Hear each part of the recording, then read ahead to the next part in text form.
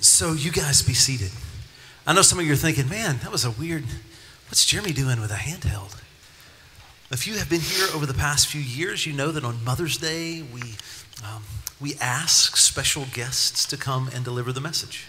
And over the past couple of years, you've seen Melanie and you've seen Jenny. And um, this year, we are tremendously blessed to have Beverly Shelton David's wife, Micah's mom, Jacob's mom, who's going to be coming up and who's going to be leading and who's going to be teaching us this morning about worship. It's a blessing and an honor. I think, especially for you guys to have the opportunity to hear from Beverly's years of wisdom and experience, not only as a mom. I mean, for crying out loud, she puts up with all the Shelton boys all the time. Amen. That qualifies her above and beyond sainthood, as far as I'm concerned. Amen. We are so thankful Thank and you. grateful to hear your word. Thank you. Absolutely. Thank you. Oh, there it is. Okay. Well, I tell you, I thought to be appropriate, the first thing I should do when I got up here was to thank Jeremy for asking me to do this today. But um, as he walked off, I'm kind of changing my mind. just a tad, just a tad. Um, I didn't realize how tall this podium is. I'm a little short up here. My apologies. I hope you can see me. Okay. Um, Today is Mother's Day. By the way, to all the moms, the grandmoms, the stepmoms, the substitute moms, the wannabe moms, the moms to be, happy Mother's Day. You know, men, go home, be good to these women, because I can assure you they deserve it. So, happy Mother's Day to everybody. Um, truthfully, I am really excited to get to talk to you guys today because I'm going to talk about two of my passions. Um, first, worship. If you know me at all, man, I love to worship. But today being Mother's Day, I feel a little obliged and also want to talk to you about my second passion, my family. Um, but before we get started, I'm not going to lie, you, I can need to pray. You can probably hear it in my voice. So bow your heads and let's pray this morning. Father God, I look out and I see the faces of all the people that you love. God, and all the people that we've talked about for weeks now, the people that would be here. God, I pray today that at least one person walks away hearing you, having heard you, having felt you so much more than they do through their weeks, God, and they walk away with a renewed attitude toward worship. God, I love you. And I praise you, and I pray that you see worship in every aspect of my life every day. Amen. Uh, when you think about worship, what's the first thing that comes to your mind? For me, it was always music. I love music. Music speaks to my soul. You know, in fact, I feel pretty safe saying that most of us equate worship with the songs that we sing on a Sunday morning. In fact, our perspective of worship probably is limited to what we experience here at church, be it songs, the message, prayer, small group, communion. But Scripture is really clear about what worship is, and it extends far beyond the songs that we sing on a Sunday. Worship is an intimate expression of gratitude for the mercies of God, and singing is just one aspect of that. R.C. Sproul is a writer and theologian. He said, The worship to which we are called is far too important to be left to personal preferences, to whims, or to marketing strategies. It is the pleasing of God that is at the heart of worship. Therefore, our worship must be informed at every point by the Word of God as we seek God's own instruction for worship that is pleasing to Him. So, as I started looking up scriptures that related to worship, I kept coming back to one. So, it's kind of where I'm going to hang our hat today, okay? In Romans 12, Paul writes, Therefore, brothers and sisters, in view of the mercies of God, I urge you to present your bodies a living sacrifice, holy and pleasing to God. This is your true worship. So, that statement again from R.C. Sproul it is the pleasing of God that is at the heart of worship. Those of you that know David and I, hardly any at all. We've probably told you our story. But this morning I'm going to share just a few brief details to kind of walk you in to how I learned that worship is so much more than what we do within these walls on Sunday. I'm going to keep our personal details hopefully brief because we are not that fascinating. But God is, so kind of hang with me, okay? David and I married in 1988. I'm the youngest of six kids, big family. So I was determined we were going to have a big family. Um, about a year after we were married, I was pregnant. We were so excited. We went every month to the doctor, every month got a good report until that fifth month. We walked into the doctor. They checked for that little heartbeat, which was always the first thing they did. And in that fifth month, there was none. We were devastated, of course, but we moved forward, did what we do, um, and decided okay, we'll try again. So, what felt like forever, we were pregnant again with our second child. This time, at about 10 weeks, I miscarried.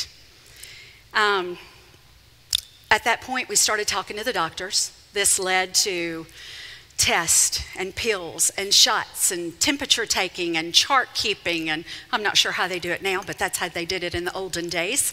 Um, but it led to all of that. And finally, after what felt like forever, we were pregnant again, baby number three we were cruising along. Uh, we were living the life. We just knew that third time's a charm. The doctors were cautious, but um, we were living, that, living the life, waiting on this perfect little baby. Well, at 24 weeks, it was a Monday night, my water broke. David, I was at a ladies' meeting of all places, thankfully at my mother in law's house, so she took care of me. But um, David came and got me. We drove to the hospital. They admitted me and they told us there was no way the baby would survive. So we, they had put us in and we laid in that hospital room. They had put a heart monitor, a little monitor on us, and so we were listening to that little heartbeat come and go. And we just knew that was it. And then that little heartbeat would start back, start back up. That went on until in the middle of the night, David finally just asked him to take it off you know, we, we knew what we were waiting, we knew what the outcome was going to be. So um, they took the monitor off, and the rest of the night we spent sleeping very little, but praying and, you know, that God would just accept our baby and let him go home quickly. Um, the next morning, the nurses came back in. They put that monitor on, and that little heartbeat was still just a going. Everybody was surprised. we were thrilled. We just knew this was going to be it. Um, at that point, a doctor came in and offered us a little bit of hope. He said, I think we can give this baby a 50 50 chance. If you're willing to go into the hospital um, and stay, if we can keep you in here and keep the baby healthy until 32 weeks. So, buddy, we were ready. We were on it. But of course, they gave us a list of all the things that could go wrong. He's born early, cerebral palsy, blindness, we were like, you know what? God knows our future. This is our baby. We're going to do this. So they put me in what was called Trendelenburg position. I stayed on my head to keep everything in place. And we were in for the long haul. We were ready. But after five days, one of the things that they told us could happen was infection setting in, and infection did. And they came and they took the baby at that point. The baby was born one pound, 10 ounces. Um, 81 days in the hospital, one surgery, a grade four brain bleed that somehow miraculously disappeared, many other setbacks, and many other victories. We brought Jacob Shelton home at four pounds, 10 ounces, and on a heart monitor. But you would have thought we were walking out of that hospital with baby Jesus himself. We were very proud, very proud. We had a ticker tape parade. We had gotten to know all the doctors and the nurses, and so it was a big deal when we got to carry this baby home. I was going to flash up a picture, but as my sister in law likes to say, at that point in time, you know, that was what, 92? My hair was bigger than Jacob, so I'm going to spare us all that. Um, so, no, no pictures today. But we were so proud of our, what we knew to be little miracle. Um, And during that time that Jacob was in the hospital, God and I talked a lot with my part of that conversation sounding like, God, just give me this one baby, this one baby of my own. Just let him make it. But after we'd been home with Jacob for a couple of years, and he had done great, and all of that pain and struggle of walking that journey, we kind of started thinking, you know, maybe a second, you know. So God and I started talking about babies. We'd been talking the whole time. Please don't think we were not. But we started talking about babies again with my part of the conversation sounding like this God, remember what I said about I wouldn't ask for another one? Well, never mind. You know, I'm back and I'm asking, maybe just let us walk this path one more time. So we went back to the doctors. The doctors said things like, your chances of getting pregnant again are slim to none. If you do get pregnant, a viable pregnancy is slim to none. If you have a viable pregnancy, the chances of you carrying full term are slim to none. So David and I had a lot to talk about. So we went home and we decided God knows our future. He had walked with us this far. We're going to give him a chance. We're going to give us a chance. So, after what felt like forever, we were pregnant again. Child number four. We were ready to walk this path. We got to the doctor, nine weeks. I was nine weeks along. They immediately took me off my feet. They put me on bed rest. And there I stayed until I was 32 weeks. And then Micah Shelton, healthy, happy little boy, born. And we were a family of four. And why God, thanks. But I'm telling you that, but why God chose to bless us with these, what we knew to be perfect, these perfect little babies, we had no idea. But um, I'm telling you, we knew absolutely that God was in control and that He had given us these babies. From day one, when we walked home with these children, we knew they weren't ours. You know, I was one of those mothers that was like, You want to hold my baby? He's a miracle. He's a miracle. You want to hold my baby? We absolutely knew that these children were not ours, that we had them for a short period of time. We knew that they were gifts from God and beautiful miracles with every fiber of our being. So we counted our blessings. We knew we're a family of four, and I think even God was relieved at this point they're, they're resting, they're going to put it at rest. But I tell you, we had no choice. And we knew this, but to give these babies back to God. And I had to do that every day to constantly remind myself because, you know, we get busy. So every day I reminded myself, they're yours, God. They're yours. So we began to pray that God would help us raise them to become who He wanted them to be not little versions of us. And if you know us, that part was very important. So um, that's what we prayed every day. And every night, as I rocked them, and if you know me, I'm a crier, so I cried over them. My prayer, not this elegant prayer, but it was God, thank you for this baby. Please don't let me mess him up. That was all I could muster at the time. But you know what? At this point in my life, this is when I began to realize that worship was so much more than what we do on Sundays. These babies that we had, that we were determined to raise the best that we could to be worshipers, to be God lovers, to know Jesus, um, they were a gift. And we knew that they were gifted to us for a short period of time. And so we wanted them to know worship. It was at this point that I began to understand parenting. For me, the way that I was going to try to raise these boys, this was part of my worship. This was part of my way of loving God, giving back to Him because He had given me so, so much. Because He had entrusted David and I with what we believed to be these two perfect little humans, we would do everything that we could to give them back. This is when I began to realize, you know, worship is so much more. So we became determined for our boys to see us live out our worship. We had prayed and we had prayed and we had prayed, and God had answered abundantly. Why? Why us? Why we were blessed, we didn't know, but we would give them back. God has done so much more in our lives than this, people. Salvation, so much more than we could think, ask, or imagine. But we're going to get to the salvation part in just a bit. As our kids grew, David and I knew that living out our worship was important, but we came to a point in our lives where we realized we weren't exactly doing that. Oh, we were doing all the right things. We were going to church, we were going to small group, we were joining groups and leading things at church, but there was not sincerity in it. We were fulfilling an obligation. And this, people, is not what we wanted our kids to see. We needed them to see worship out of us.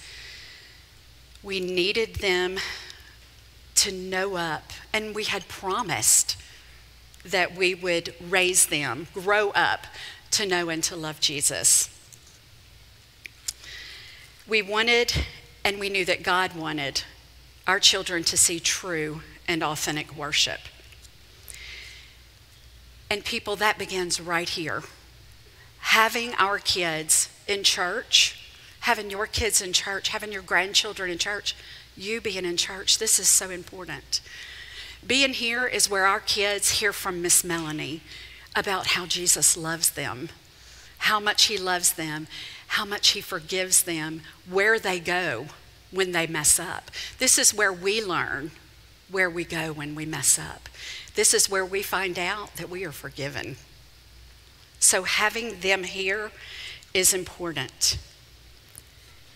You know, I pray every day still that our kids see David and I living out our worship. Um, and now we pray over them as we see them doing the same thing for their kids. We look at our two beautiful daughters we have because of God's miracle. We look at three beautiful, if you haven't seen them, beautiful grandbabies that we have because of that continued miracle. And so we pray that they see us doing that. And can I tell you how beautiful it is to see them doing the same for their kids? Now, so in preparing for today, I read a statement that said, Some people still think of worship as a special moment in a Christian meeting. That is a form of worship. You know, when somebody says a prayer and there's something in it that speaks to your heart, when you're a couple of songs in in the worship service and one of them just speaks directly to you, that is a form of worship. But truth be told, if we are living to love God and living for Him, all of life is worship. Everything that we do should be done in the light of pleasing Him. Romans 12 again. I urge you to present your bodies as a living sacrifice, holy and pleasing to God. This is your true worship. In our day to day lives, Monday through Saturday, we are tossed back and forth so much between these hectic schedules. And these schedules can include work, family, school, dinner, laundry, soccer practice, dance all of this. So when we come here for corporate worship on a Sunday, we come for a little while seeking a reprieve from that. Through singing, prayer, and the Word, I know that when I come here on Sunday, I am looking to feel and to hear God more than I do during the week because life happens, distractions. But when we come here, expectant. That's an important part. Come here on Sunday mornings expectant, expecting to hear Him, to feel Him. But when we come here, we can close out the world for a while and breathe God in. And people, it is that that we fill up and we take back out with us. It is through concentrated worship here that God speaks to us. Worship in whatever form creates this intimate space between us and God, and He hears us. That furthers our relationship with Him, it deepens our identity in Him, and that is what fills us up. That is what we take back out into the world, and that is what sustains us through all those distractions that we walk through every week. When we are here in corporate worship, how amazing is it? I got to thinking about this. We're here in corporate worship. You're not just worshiping with the people in front of you, behind you, or beside you. People, we are worshiping with worshipers everywhere. And I started getting these chills thinking about it. If you think about that, we're really kind of in a dress rehearsal for eternity. I don't know about you, but I don't want to be on the sidelines in eternity. I want to be in the game, I want to be in it.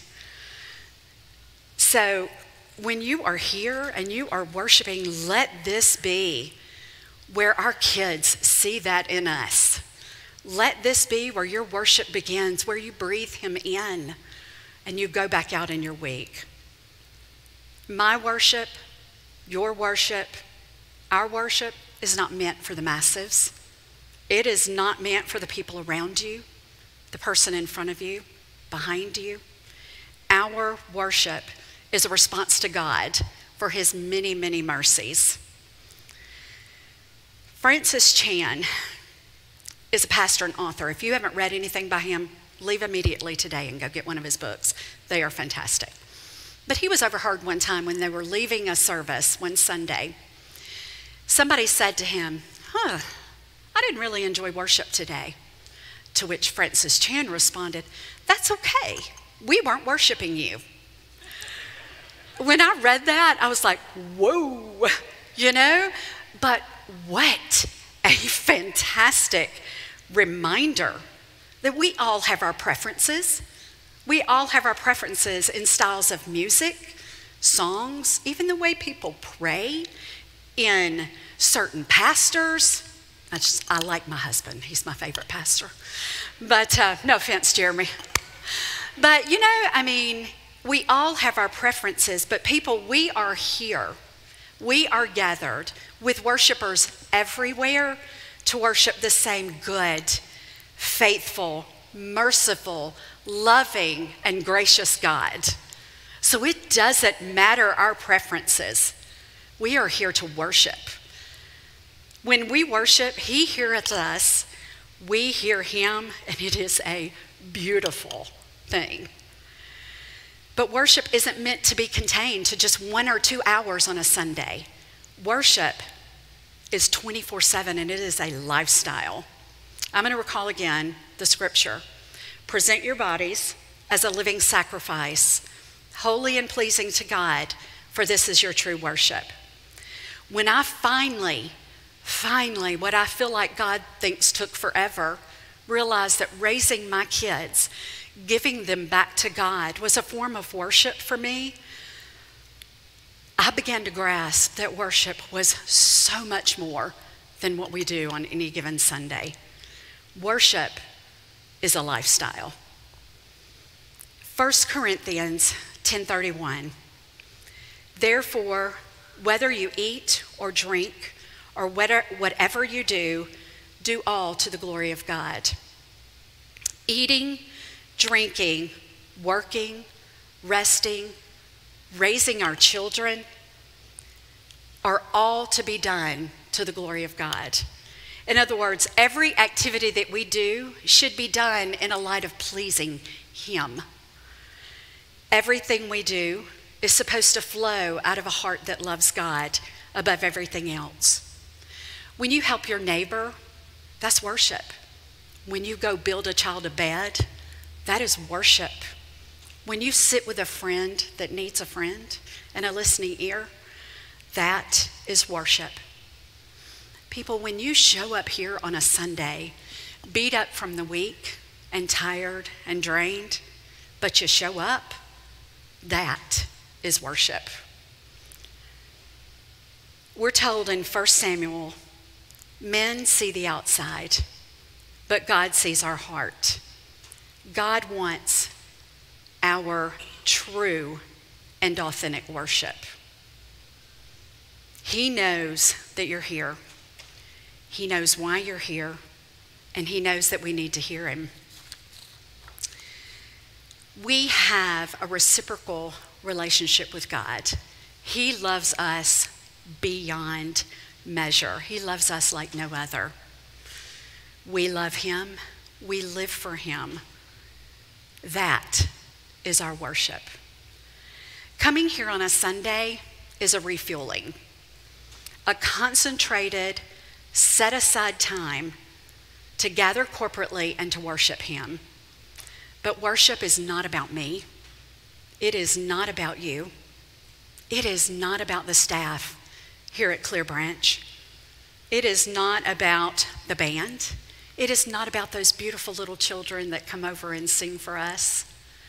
It is not about your small group, which I love my small group. If you don't have one, come see me. Do life with a small group. But, people, it's not about that. Worship is about God. Worship is not always convenient or comfortable, even. Sometimes worship is a sheer act of will. But, friends, we are made to worship the one that gives us our salvation, the one whose mercies are new every morning. And I don't know about you, but I am so grateful for that. The one that loves us immeasurably, the one that gives us endless, undeserved grace. As Jesus followers, how we serve, how we give, how we love, these are all expressions of our faith. So, at the risk of looking foolish, let's go out of here today and live a lifestyle of worship. Let me tell you something. Micah has prayed back there over the band, and he has prayed from right here on this stage. God, let us give it everything that we've got, even at the risk of looking foolish. So, you know what? Everything that we do should be done, like I said, out of a heart that loves God. Go out of here today, live a lifestyle of worship, let your God infused life lead others to worship. Live your life so that your worship journey becomes your life habit.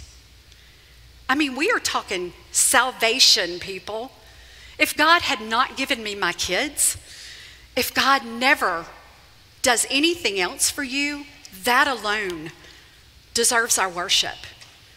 No matter what is going on in your life, no matter what is going on in this beautiful but crazy world that we live in, God still sits on his throne and he deserves our worship. So, go out of here today considering your life a dress rehearsal for eternity. Because, people, I'm telling you, we're going to be doing this for eternity, and I want you to go with me because I'm headed there, okay? So let's worship Him, the one who is most assuredly deserving of it. Consider your life this dress rehearsal, and I pray I pray that it brings about a joy in your worship. Let's pray. Father God, I pray that you grow us in a habit of worship. God, I pray that you see our entire lives as an opportunity to worship you. Let how we serve God, how we live and how we love be expressions of our faith. God, I pray here today that you would see a legacy of worship in every family, God, and I pray that you let it begin right here with us. All praise, glory, and honor be to you, good and gracious God. We love you. Amen. It's my mom, y'all.